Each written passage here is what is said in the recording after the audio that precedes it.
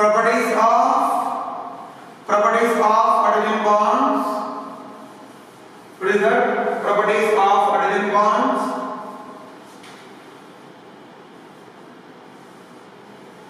Number 1 is number 1 is boiling boiling points number 1 is boiling points. For example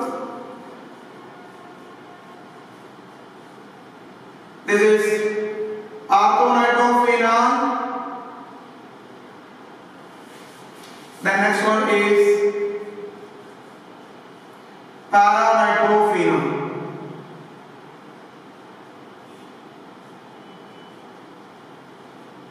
one is orthonitrophenol another one is paranitrophenol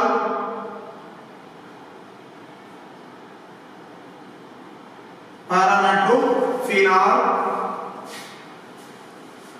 it forms intramolecular hydrogen bond it forms intermolecular metre वाले hydrogen bond to formation of intermolecular hydrogen bond one paranitrophenol is combined with another paranitrophenol one other paranitrophenol combined with next paranitrophenol so that is the reason why association increases due to intermolecular hydrogen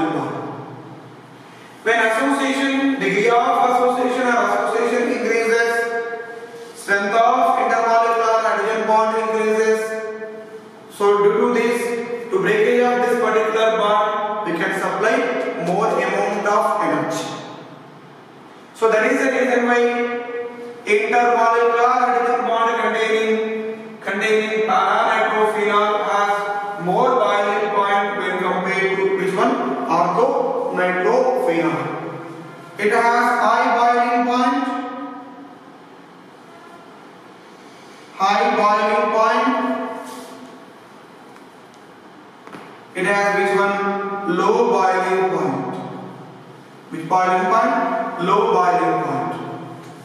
Due to if the boiling point of a compound is low, it is easily volatile. It is easily volatile. So that is the reason why due to low boiling point, volatility what happened increases for which molecule? Orthonitrophenol when compared to which one?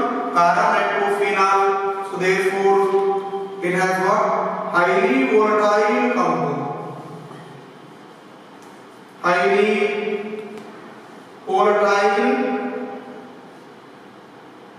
volatile or are steam volatile compound steam volatile